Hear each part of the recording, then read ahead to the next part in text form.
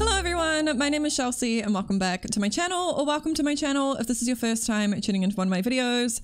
Uh, as always, we're starting today's video with a disclaimer because I feel like I have to start every single video with a disclaimer. Not that I have to start every single video with a disclaimer, but like I have something to disclaim at the start of every single video for some reason. Uh, today's disclaimer is um, I have had really fucking bad hay fever all day. And um, yeah, if I sound like congested and nasally and overall just miserable, it's because um, I am. For those of you who don't know what hay fever is, I'm pretty sure I've like spoken about this in past videos uh, because it's something that I suffer with frequently. Uh, but it's it's like spring allergies. It's the allergy to pollen and all the shit in the air in uh, spring and summertime. I suffer with it very very badly, and um, uh huh. Today and yesterday have been absolutely terrible for it. I don't know what it is about today and yesterday that have been so bad for my hay fever, but yeah, it's been absolutely terrible. Uh, mostly I've got the itchy eyes at the moment, but I have been congested all day, so if I sound gross, that's why. Yeah. my voice might just be like a few octaves deeper than you might be used to. I don't know. Um, but yeah, we're building another family home today because, um, surprise, surprise, I'm a little bit obsessed with doing family homes at the moment, even if they're not that big, like this one. This is actually a very small family home. Uh, I've called it small but growing family home. Um, well, I mean, oh my god, does that title even make sense? Okay, it made sense when I like named the house and when I exported it and everything, but like now that I've said it out loud, I don't really know if that makes sense.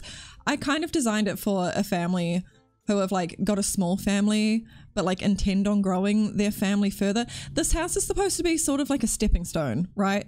So like you have your sim, they have their first baby, they move into this house when they have their first baby. When their baby becomes a child, they move into the second bedroom, they have their other baby, and that's all the room that they have in this house. And then, like, eventually they're going to move into a bigger family home, but this is like their stepping stone. Do you know what I mean? It's a home for expanding families, and that's why I named it the way that I did. But I could have just left it at small family home, but that's not very creative. So yeah, small but growing, in brackets, because, um, yep. uh, anyway, actually, I don't even know if I can have brackets in my titles. I don't know how YouTube works anymore. I don't know. We'll see how we go. But yeah, I built this house in one day. Mm-hmm. That's very rare for me. and I literally built it today. So it's not often that I will build a house uh, build the shell, do the landscaping, do the interior, finish the entire thing, and then like finish the entire video in one day. But I've done that today, mostly because I really wanted to upload this video tomorrow, and also just because I really felt like building. So that's what we did. I'm really happy with how it turned out. I love it so much. Uh, yeah, it's a three bedroom family home. The master bedroom is downstairs and upstairs. There are bedrooms for it's there's like one and a half bedrooms upstairs. There's like a kid's bedroom and also a nursery, but the nursery is really really tiny. Like it's a three by three room uh for the nursery, and yeah, the kid's bedroom is actually pretty tiny as well. So yeah, this is definitely not somewhere your Sims would want to stay permanently, but it's like a nice little stepping stone. You know, maybe they're just hopping onto the property ladder or whatever. I don't know. It it works. Will I end up using this house for the Coopers? Probably. Because, um, yeah, I have been playing with the Coopers a little bit more. Not so much last week, but I intend to play with the Coopers a lot more. And I'm sure I will end up using this house. Um, but yeah. I... What else do I have to say about this house? It only has one bathroom, unfortunately, which is downstairs. So, um, yeah, the kid slash teen in the upstairs room is going to have to come all the way downstairs to use the bathroom. But that's not a big deal because that's what I have to do. the way my parents' house is laid out is like downstairs is two bedrooms, a lounge, a kitchen, dining area, and then the toilet and bathroom. And upstairs is literally just my bedroom and then my office, and there's nothing else. So I have to go downstairs to use the bathroom. So do the Sims that live in this house. It's not a big deal. It's fine.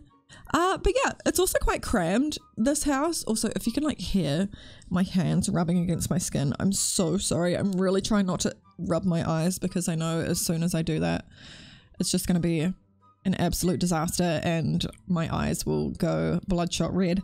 I will have some fucking jelly looking shit in my eye. It's gonna be bad. Ugh, I'm trying to resist it, but anyway. Uh yeah, quite crammed this home, but I kind of like that about it. if you've been following me for a while, you probably know that I tend to lean more towards crammed spaces and yeah, that's uh that's what I've done with this house because I don't know, it's just it's small and what else am I going to do with the space other than like fill it to the brim with furniture? you think I'm going to leave room for your Sims to move around in? No, of course not. You probably can't even like teach your kids to walk in this house. There's probably no room. Like, not even kidding. uh, they'll just go outside in the backyard that I didn't furnish because I hate decorating backyards. And I decided a few house builds ago that I am no longer going to engage in things that don't make me happy and decorating backyards doesn't make me happy. So I've been leaving them all blank for you. You're welcome. Sorry to anybody that bothers, by the way. I just, I, I really hate doing backyards and I don't want to do them. So I'm not doing them. Um, you have complete free rein of the backyard. I do fence it off for you, but everything else, your Sims have to hire a landscaper and that landscaper has to be you. I'm so sorry, bestie. I will not do it. Um, yeah, I feel like I was saying something and then I got distracted by the fact that I didn't decorate the backyard. Um, uh, um, yeah, it's crammed. Your Sims don't have a lot of room to move, but that is what I like about my houses. uh, I just, I don't know. I hate empty spaces in houses. I think they look just, I don't know, they look odd to me. If there's not like something there, it just feels naked and wrong. I love just filling everything up and it's a loud car driving past my house right now. I'm very sorry if you heard that.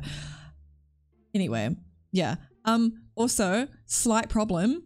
Thought I had another week before Christmas. Um if I'd known that this was the last like Monday for me, Sunday for most of you. If I'd known that this was the last one before Christmas, I would have done a Christmas build today. But honestly thought we had another week. uh, and plus, I don't know, I'm just, I'm really not that into Christmas this year. Like, I used to be such a Christmassy person, but I don't know, I feel like, I mean, these past couple of Christmases have just not been the same because of COVID and all of that. I don't know, we've been in a pandemic. It's hard to feel festive in a pandemic as it is. Uh, last year was the first Christmas without my uncle. Uh, I don't know if I've spoken about this in my YouTube videos. I'm sure I have at some point, but I lost one of my uncles last year who was very dear to me. Uh, we lost him in September 2020. And last Christmas was the first Christmas without him. So there was everything that came with that. It was also the first Christmas with my niece. My niece was born in March of 2020 and it was our first Christmas with her. So there was like everything that came with that and like not really knowing how to feel.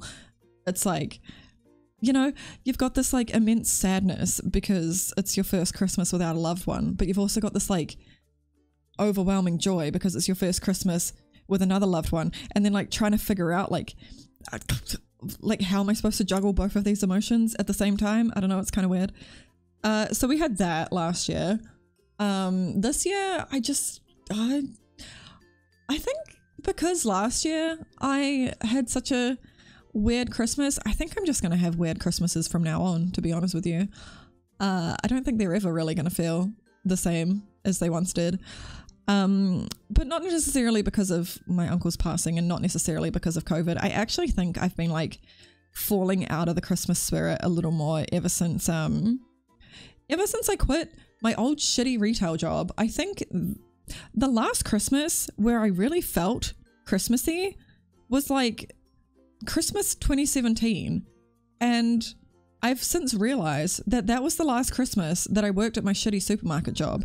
I think just like being around all the like busy people at this time of the year and like hearing the Christmas music in the supermarket and like you know, seeing everybody fill their trolleys up with all the food that they're going to be having for Christmas. I feel like that was what put me in the Christmas spirit the most, which is weird, but I think true. And then, like, I quit my job in, was it June or July of 2018? I think it was July or June. I don't know. It was mid of 2018. I quit my retail job, and 2018 was my first Christmas uh, working for myself. And I was actually, no, I think I was pretty festive in 2018 because, like, I was still carrying, you know, I don't know. It was my first Christmas, like being self employed. So I don't know. That was exciting. Uh, so I had my office all done up, uh, Christmas decorations everywhere. I had a Christmas tree up. Everything was like all pretty. I decorated my tree with my mum. It was cute. And yeah, I felt festive 2018. Okay, so Christmas 2017 wasn't the last time I was in the Christmas spirit. Christmas 2018 was. Uh, 2019 rolled around don't think I decorated my office for Christmas that year just because I didn't really feel like it. Because I don't know, it just everything is the same to me, you know? I'm self-employed, so like I'm always at home anyway. And one of the like previously really exciting things about Christmas was that like I got to have time off over the holiday period. I a, don't get time off over the holiday period because I work for myself, therefore I don't get paid to take time off over the holiday period. B, I have no desire to take time off my job because I enjoy it so much and I'm just like always home. So I don't know, I feel like Christmas doesn't really feel like any different time of the year to me. Does that make sense? I don't really know if I'm making any sense. Long story short, um, I haven't been in the Christmas spirit this year, and that's probably why I thought we had another week, but we actually don't. we actually do not. Although, one thing that I am excited for about um, this month, and actually specifically tonight, uh, it's the full moon tonight. So, guess who's got a lot of journaling to do after she finishes this video? Guess who's got a lot of meditating to do? Some incense sticks to burn we're to do all of that. Okay. I very much like the full moon. Uh, got to charge my crystals, all that good stuff. Uh, gonna write everything that I'm gonna release, gonna burn it, set it on fire. It's gonna feel good. I'm gonna wake up feeling refreshed. I'm excited. It's still light outside when I'm recording this though, so you know what? Actually, it'll probably it'll still be light by the time I fall asleep. I'm in daylight savings time at the moment, so it doesn't get dark until like 10 p.m. And I'm tired and it's 8 p.m. So I'm probably not even gonna really get to experience the full moon, which kind of sucks. Maybe I'll make myself wake up. Just so I can sit outside and bask in it for a little bit. I don't know. Um, but yeah, let me know if y'all have any like rituals or anything that you do during the full moon. I'm not like I wouldn't say this is a ritual. It's just something that I like to do during full moons. I like meditating. I like journaling. I like writing out everything that I want to release and setting it on fire. Um, I just like to do that during the full moon. It's not necessarily like a full moon ritual per se. I don't have any rituals. I don't consider myself like a witchy person. I just enjoy you know spirituality and all that good stuff um but yeah if you have any like routines or rituals that you partake in during the full moon, you should let me know because I am definitely interested in that. Um, but yeah, that's happening tonight. And by the time this video goes up, the full moon is already over. So if you forgot about it, sorry. you just missed it. But um, there's always next month, which is 2022. I can't believe we're almost in 2022. That is actually disgusting. Um, yeah, hoping for a better 2022. Okay, 2021 was pretty rough. Um, I would argue that 2021 might have actually been worse than 2020, which is saying something because I had a really bad 2020. Like, I completely crashed in 2020, thought I was at my lowest point. Uh, then 2021 came along, and then I think I went a little bit lower. And um, yeah, really didn't think that was possible then it happened, but things feel like they're turning around for me now. So I think 2022, 2020, that's a lot of twos, like a lot of twi. That's a lot of twi. Uh, 2022, I genuinely do believe is going to be a lot better for me personally than the last two years. Uh, can't say how it's going to be regarding the whole pandemic thing. Um, for some reason, people seem to be under the impression that the pandemic is over. Um, don't think so, actually. Um, hmm I mean, I haven't heard like anybody around me say that, but I've seen on Twitter people have been saying like, "Oh, we're post COVID. Oh my god, we made it through a pandemic." No, we fucking didn't. we're still in it, bitch. Um, yeah, can't see the pandemic going away, unfortunately. Um, but hopefully we don't go into a lockdown again next year because the lockdowns really throw me. Uh, yeah, we went into like a four week, or maybe it was three weeks. We went into a level four lockdown at some point this year that was announced after my birthday. Actually, it was announced on the day of my birthday. I went out to dinner for my birthday, checked my phone while I was at the dinner table. What did I see?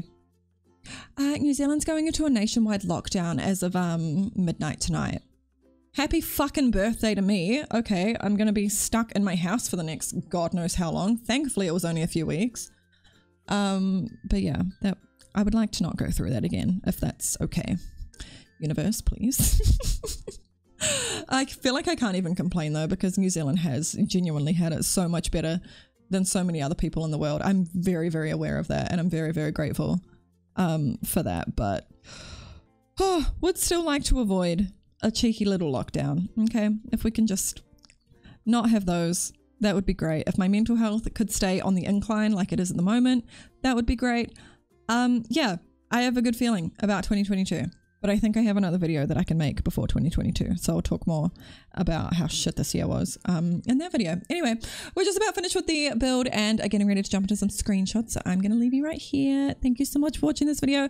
Uh, give it a thumbs up if you enjoyed it. This is not my outro. I lost my outro. I don't know how to say it. My eyes are itchy. Um, the download link to this house is in the description if you're interested in putting this in your own game. And yeah, Thank you so much for watching. I love you a lot. And of course, I will see you next time. Bye bye.